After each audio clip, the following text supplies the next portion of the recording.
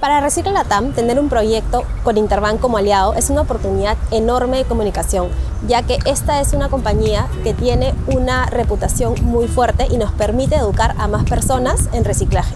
A través de esta iniciativa de reciclaje buscamos fomentar una cultura de respeto por el medio ambiente, que a su vez impulse el desarrollo y crecimiento de más peruanos. Más bien quisiera que todos los vecinos se suman a este programa de recicle, incluso la municipalidad está saliendo a sensibilizar a todos los vecinos de San Miguel para que puedan ellos juntar el reciclaje y separarlo. Somos 22 personas.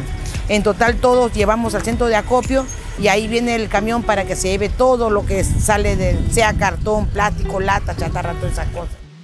En Interbank buscamos ser un referente de sostenibilidad que contribuya con el desarrollo en el país, actuando con respeto, integridad y visión de futuro en todo lo que hacemos.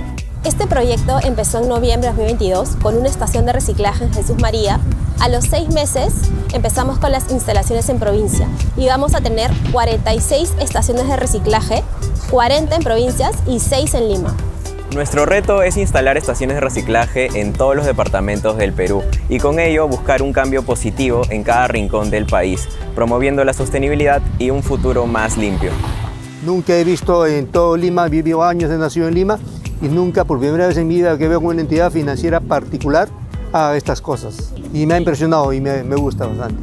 Es así que asumimos compromisos voluntarios en materia ambiental, social y de gobierno corporativo, que van más allá de obligaciones legales y que están alineados con estándares globales en sostenibilidad.